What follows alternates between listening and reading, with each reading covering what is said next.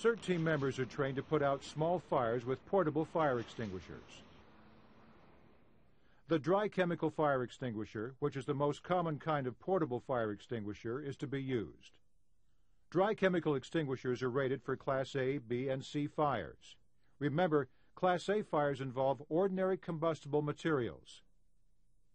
Class B fires involve flammable liquids, and Class C fires involve energized electrical. Operating a portable fire extinguisher is easy once you know the steps involved. A portable fire extinguisher has four components. A hose or nozzle, a pressure gauge, a carrying handle with a trigger, and the cylinder. The standard range for the dry chemical extinguisher to shoot is 8 to 12 feet. Using a fire extinguisher is a skill. CERT team members need to practice using the fire extinguisher so that they are comfortable using it.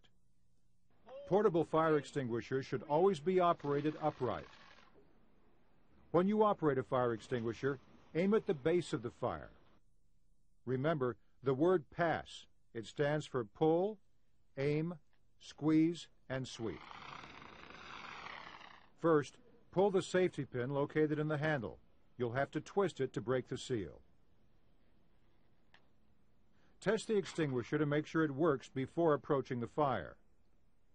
Then, as you move towards the fire, aim the hose or nozzle at the base of the fire. Next, when you are within operating range of the extinguisher, 8 to 12 feet, squeeze the trigger of the extinguisher.